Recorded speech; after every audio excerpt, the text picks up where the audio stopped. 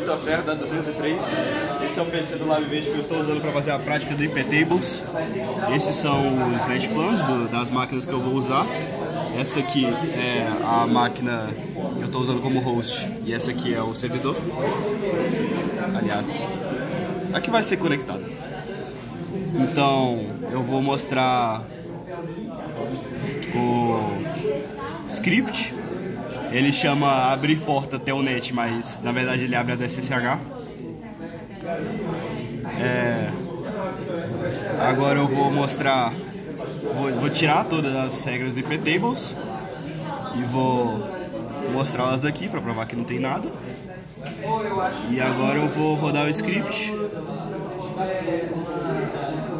e vou mostrar de novo as séries. Você pode ver aqui em cima, tá, as coisas estão funcionando. E agora eu vou vir aqui e vou dar SSH no, na máquina que eu estou usando para hostear. E aí ele vai conectar na outra. Então como você pode ver aqui, conectou no EPF-C1.